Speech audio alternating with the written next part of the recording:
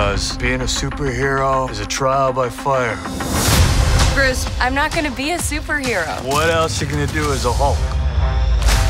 Lawyer show. We just started a superhuman law division, and I want the She-Hulk to be the face of it. We do things by the book. The Book of Ashanti. The book of American uh, laws.